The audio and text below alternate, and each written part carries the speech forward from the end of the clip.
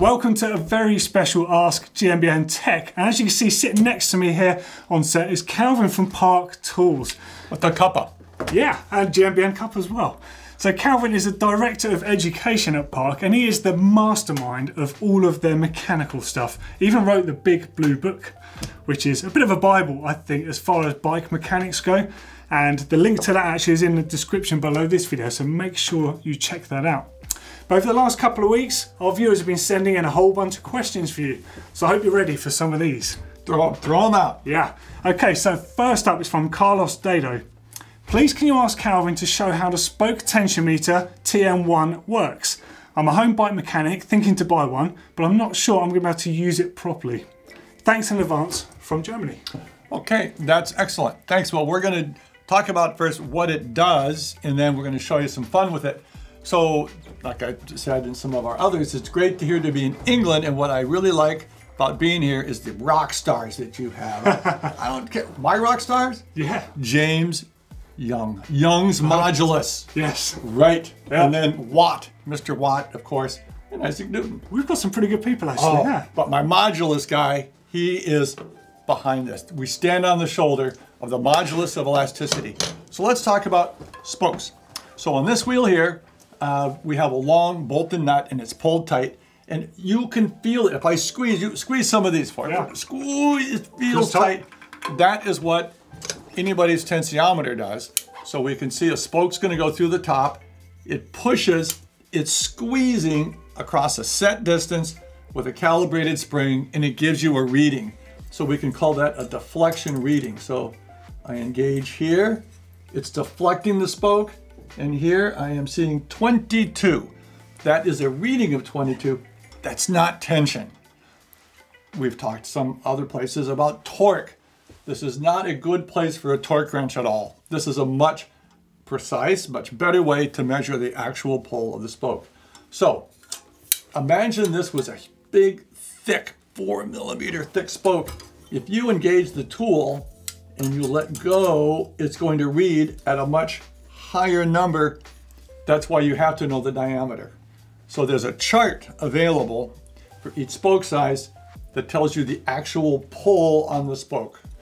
Tell me, sir, not to get personal, what are you coming in at? What is your weight, a type of force? Uh, 200 pounds, so 92 kilos ish. 90, 92 kilo, Yeah. the guy converts nicely, 92. So we take a spoke, we hang it from Doddy's head, we pull him up, we have a 92 kilogram pull on that spoke. Yeah. So we're going to go and measure some of these, and this is the fun part. We can have a have somebody be the secretary and type it in. It's fun to go around and measure, and we actually have it a fun web-based app for this, theparktool.com/wta. So let's let's see what we have here. We had uh, my lovely assistant Doddy read off the numbers to me. This is very cool. So what, what this simply is, it's a spreadsheet with a radar chart. So what happens is the bigger outline is the tighter of the two sides and the smaller circle is the less tension. And they're not the same. But this was a front wheel? Yes, viewers, that is a disc hub and the disc hub is flatter. It's shorter and to get that, it's tighter. It's tighter. So now what's interesting about this, this wheel is very, very true. You can see the different tensions though, but it's very common to see, you'll see a spoke that's a bit tight and its neighbor a bit loose. Well, what we want to have in a wheel is even tension on the same side. So well, here we have a slaggard. We have somebody somebody here on, on, Yep. on the dole next to him is a hard worker. this is the socialist, the true socialist method of spoke showing everybody share the load, Doddy. Yeah. So what we can do is we can loosen the uptight spoke. Just calm down, calm down, Doddy. And then someone who's, okay, like maybe Jamie or one of the other fellas, Yeah. tighten up, man. Let's tighten up, and you can get even tension all the way around. We're actually going to put a link to this very wheel measurement in the description below, actually, so you can have a look at this yourself. And check this out at home. I think, Carlos, I think this is a really cool way of actually looking how you can structure wheels yourself at home. Yeah. And I'd definitely recommend that tool, especially now having seen this, which I've never used before and I'm definitely going to be playing with. There you go, that was a hell of a first question, I think. And uh, just to go into even more depth on the second question, Right, so this is from a biking platypus, and I love this because it's referring to one of your previous videos. I've ridden my bike for about 600 kilometers and now my front brake pistons won't fully retract to their original positions. They seem to be a bit stuck. I've cleaned them as per your video, lubricated them with 5.1, all that stuff, but it's still sticking a Yes, little bit. yeah. Uh, he's bled it successfully. It's a SRAM Guide R brake. Um, what is what? What's going on? Well, what's going on? So it, it wasn't uh, having any problems at first, and now 600k. Yeah. that's not so much. It, it Sounds- should we shouldn't be having Sounds a problem. unlucky to me. Right. So first, we're, we're focusing possibly on the wrong thing. So we're down looking at our rotor. Pistons are in. They're not. They're, they're always in. That's a problem. They're not retracting. Possible. It may not be our our, uh, our secondary pistons here. Follow the line up. Uh, you may want to look up at the primary piston. If there's an issue at the lever with that piston, the symptoms are going to be down at the caliper. Of course, So yeah. do both levers really feel the same? If it's a sticky piston in the Mm-hmm. front, it's it's going to show they'll, they'll feel different, not just the contact. The actual pull will feel very strange on one compared to the other. So that's the first thing I would look at is Yeah. is the lever. So Yeah, definitely check that. And of course, bear in mind that, so you say you've got a SRAM Guide R brake, very respectable brake, but of course, every brake could be susceptible to a problem. Mm-hmm. There's a lot that goes on on them. So there is a chance, small chance, that that might be your problem. So hopefully you get that one. and out. great company. Yeah. Ask them. Yeah, for sure. They'll have the perfect advice Mm-hmm. for you. Okay, next up is a retro question from Mm. Harry Ames. Uh, I recently acquired an old retro bike with a one inch threaded headset and a single piece crankset. I want to convert this to a two or three piece crankset and a threadless fork. Is it possible to do this? Uh, only if you promise not to make it a fixie. Harry. I think I have a I feeling this is where this is going, uh, Harry. So Well, a three piece crankset, but. uh, Yeah, yeah, yeah, yeah. So what, what we can do there, certainly there is. Uh, we don't have one here, but there's a ring that can be bolted both sides, Yep. uh, and it can turn your larger two-inch bore there down to the uh, to the, the, the BSA Yeah. um, threading. But now, unfortunately, adapters are not available for press fit, so you can't uh, convert to the creaking BB30. Yeah. You'll have to find other ways to, to, to find a, a creak. But yes, you can install that and convert it. Uh, one inch threadless fork Yeah, I'm not are sure about that. made good luck. So do this. Buy the, it's going to be a lower end fork with the tallest column you can. Chop off the threads Run it threadless. and you're and you're good to go. So that's Yeah. simply all all it, it is. Yeah. yeah. Yeah. Never ever run the the threadless stem on any type of thread I was going to say, yeah, because it's a thinner steer, isn't it? Right, it's what, what I'm doing. If I go to his boat to Daddy's bike here and take a, a, a cut all around the steering column, Yeah. it's like an Agatha Christie murder novel. So do not ride any threaded clamped with the threadless steering column. Yeah, that will end in uh, expensive, expensive dentist bill, I think, yeah. Okay, so next up from Aaron French. Wait, We good? Mm. Um, so, hi there. As much as Park Tools are great and cover everything, très bon. they can be quite pricey. Uh, what are your thoughts on doing a similar thing to what Snap-on do with the sister company called Blue-Point, which are great but slightly cheaper? Not everyone has the appropriate funds to afford Park Tools. interesting question. Sure. Uh, Snap-on, I, and I go way back. Uh, that was, I grew up in a Snap-on truck. My dad was a Snap-on tool Wow. dealer, so little brats running around in the truck, getting chased out by your dad. It's just a just a big. Whoa, this is fun! Cling, cling, cling, cling. I still feel the Um, same. Yeah. That's right. That's right. So uh, we we've considered that. We've we've looked at that. Uh, it's it has to be the same warranty. It has to be all the same marketing.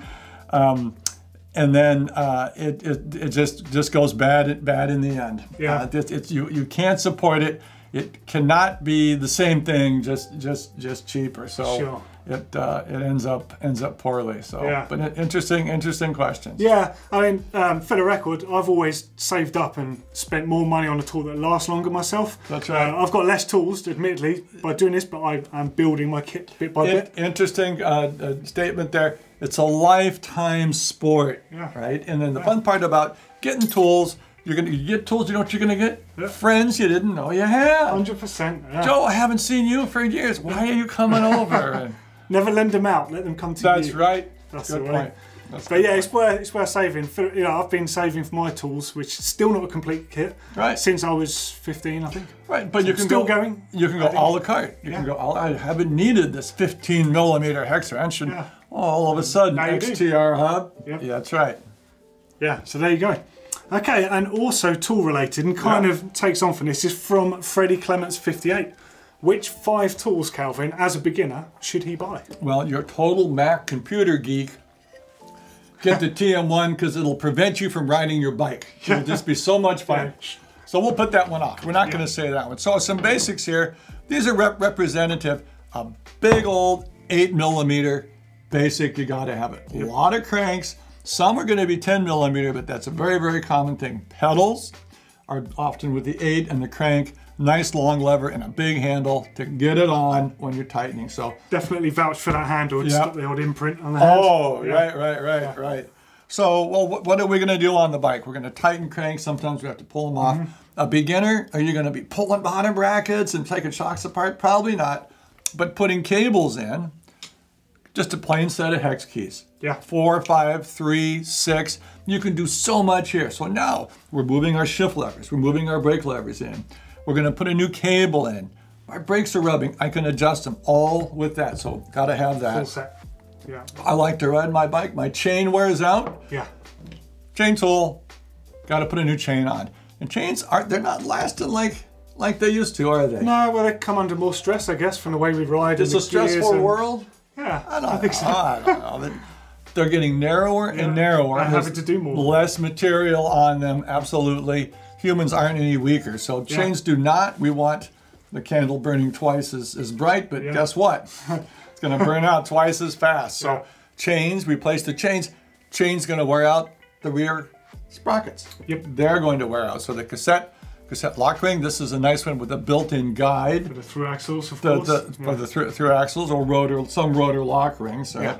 Yep. And then, um, so that, that's excellent. And to hold the sprocket, a chain whip. So these two together. Mm-hmm. So now we're got chains on, we got sprockets on, we're changing cables, we're aligning our brakes, limit screws, screwdriver. This is a cross tip, right?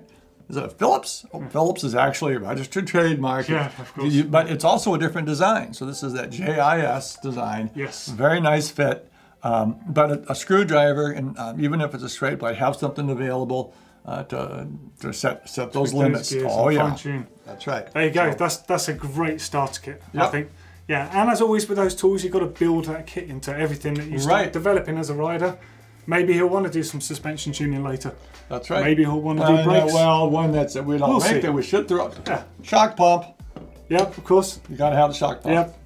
Yeah, we could go on forever. There's, Yeah, a, yeah. there's a long list, but that's a great base to start with. Yep. Okay, um, I'll put this question in just because it made me laugh. So this is from Peter McInnes. Two people sitting next to each other who are known for their distinctive hair. Granted, we're talking lip and scalp respectively. How regularly do you maintain yours? What products do you use? And would you consider swapping?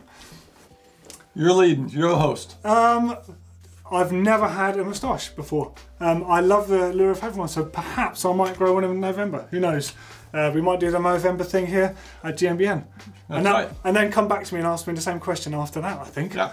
Yeah. Yeah. But, um, as for my hair, I use wax in my hair. Everyone knows that. Oh, and the, a nice WD-40 product with the wax lube. Yeah. Very nice. Yeah.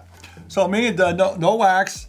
Uh, growing it up in, in the middle though, that Yeah. uh, the, the duck, the duck look. Yeah. we call that. Um, have to give that a go. Yep. And uh, the mustache uh, uh, maintenance. Whenever my wife finally yells at me, that's when I'll, That's when you trim, trim it. So just just keep going and, and, until then. So It's a bit of a mark for park tools, I think. I, I don't know. I better not cut it now. Be, no one will know me. No one will know you, that's right. Yeah. Okay, right now, so we've also got a whole bunch of rapid fire questions. Okay. So- Have to be- So fairly, fairly concise with these, Okay. I think, but these are Turn fun. Okay, so from Jabal VW, how many times a day do you drop the tool in your hand? Let me, let me see here.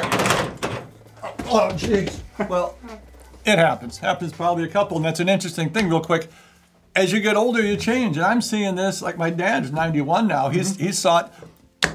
skin, you have this to look forward to. Yeah. Gets thinner. All the solvents and things you've been using, your thin gets it cuts easier, you Mm-hmm. bleed easier, and your strength starts to drop, and sometimes you drop things. So you know what? You pick it up, you keep going.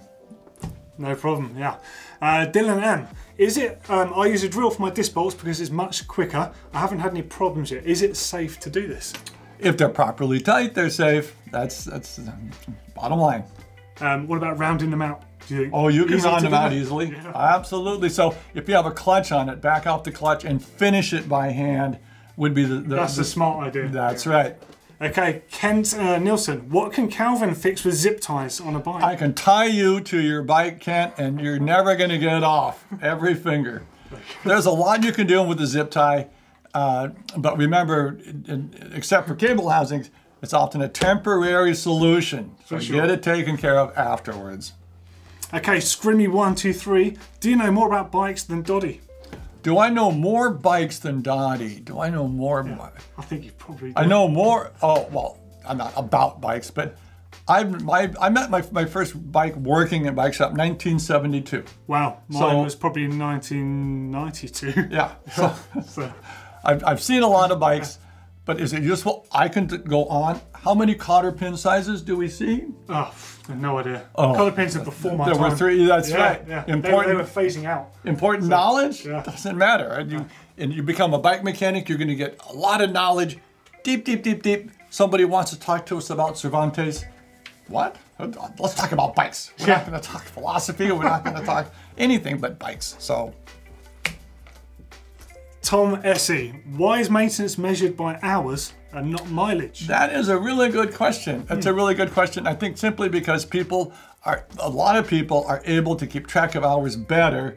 Everyone got their Garmin out, right? And that would be a nice app to have. Sure. Pop up on your screen, oil, oil, oil. and, Yeah. um, but I think it's easy. Oh, I went on a one hour ride. I went on a two hour ride and try and stack that. But we do get questions at that at Park Tool. It's really not that useful every so many hours. Shock people are probably the only legitimate people doing that. But Yeah, oiling sense, your yeah. chain or replace my bottom bracket. It's a thousand hours time to replace bottom bracket. Yeah, it's riding Wow. conditions as well. Like it's always muddy So here, so that affects it. It can be half that. It A, might a be clay, a nice clay mud, Yeah. grit. Yeah. You know the the sand. Grinding paste. Yeah. Oh, grinding paste, Yeah. exactly. Yeah, so it varies. Um, Yeah, the yeah. last one from you, Erstein. A great question is how did you start in the Park Tool family? What years Not ago? so much a quick one, but Yeah. let us so have it. yeah, I had a job uh, uh, teaching uh, uh, at a bike mechanic school, and I was going to have a family. I needed to step up, step up the ladder there, and uh, so I got a job at Park Tool. 21 years ago, um, in the start in the winter, nice cold. It's always winter in Minnesota. Yeah, sure. So uh, change of life because my you know, my kid was born in Minnesota, and I've been there ever since. Yeah. So And you've been there and done it, done the whole lot, written the book. I hope I'm not done. Got to keep going. Okay, unfortunately, Calvin, I'm going to have to cut you off because I'm sure we could talk about this all day, but we've only got a set amount of time for this filming slot. So, for any other questions for Calvin, get them in below there and let us know what you thought of the show as well. Um, first up, I want to throw you to our essentials playlist right down here, all the basics you need to know. You got another video for us? Let's uh, maintain your wheels right here. Superb. And as always, click on the round globe to subscribe to the channel. And don't forget, if you like Calvin and Park Tools, give us a thumbs up.